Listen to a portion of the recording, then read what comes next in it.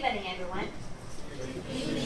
As you can see, I am a normal girl with nothing special. Except that I have an extremely round face. Everything about me looks like looks ordinary. But to tell the truth, I suffered from a mental illness when I was little. It was not until recently that I finally recovered completely. When I was little, I looked like a delicate doll. Everyone loved me dearly. I was an outgoing and clean girl. My childlike and frank speech always made my aunts laugh heartily. When I was in the second grade of elementary school, I gained weight. I became a little bit chubby. The male classmates laughed at my figure and used many creative but hurting words to describe me as a fat girl. They gave me nicknames like pig, elephant, or dinosaur girl. they even composed a song to describe my face and figure. To be honest, it really hurt me. Once, I saw online to read a boy's book. Actually, I like the book. First, I was very happy because my name appeared on his blog. But later on, in the following sentences, I found he said, Ai is a huge dinosaur. At that moment, it was as if lightning and storm broke in my mind. I felt heartache and misery. Do you think that's it? No, it's not the end of the terrible experiences. The summit of the humiliation and embarrassment came during the Chinese New Year.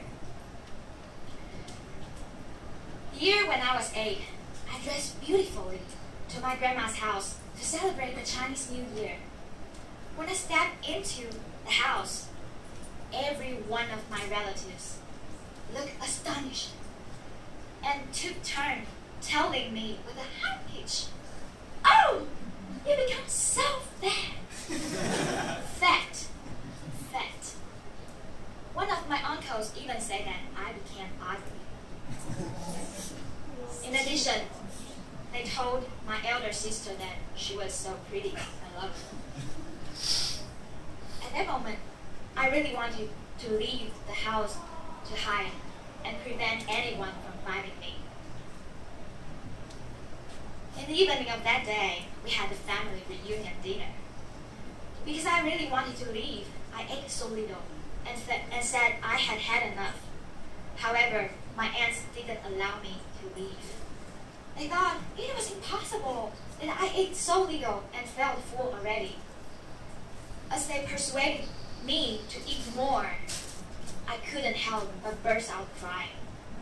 I ran out of the dining room like a leading character in serial drama.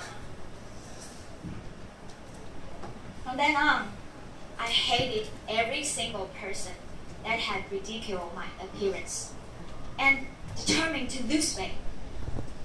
To let all of them be surprised and feel regretful to laugh at me.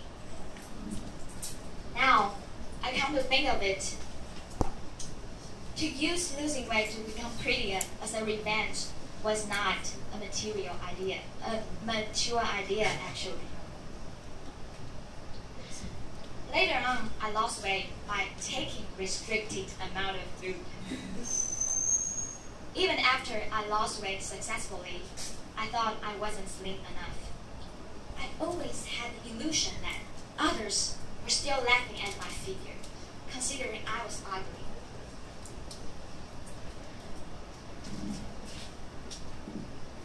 I, it took me lots of time to recover. You may wonder what the medicine of this illness is. I would say the answers are self-reflection and forgiveness. I remember once I bought breakfast. I ordered a sandwich without mayonnaise, 美乃滋, but the worker forgot to avoid adding it. When I saw my sandwich having a layer of greasy mayonnaise, I went mad, screamed angrily, and even twisted the sandwich with deep hatred. As I calmed down, I realized that I had gotten an illness, which I called it fat anxiety. Self-reflection assists me to sense that maybe I misunderstand or exaggerate others' reaction or evaluation. It helped me to think in others' shoes. It is only when I try to understand others can I try to forgive. Only when we try to forgive can we really save myself from the fat anxiety jail. Forgiveness lets us put aside those bad emotions that hurt ourselves, like hatred and anger. Now, whenever recalling the memories, I no longer have bad emotions. Instead, I think it's a special experience. I even thank for it because it makes me deeply understand that to make ourselves fascinating and adorable is always not only about appearance, but also kind heart and wisdom. At last, I'd like to say, mental illness can never be cured by changes on the outside. Only when we try to reflect ourselves and put aside those bad emotions can we really recover from it. TNP.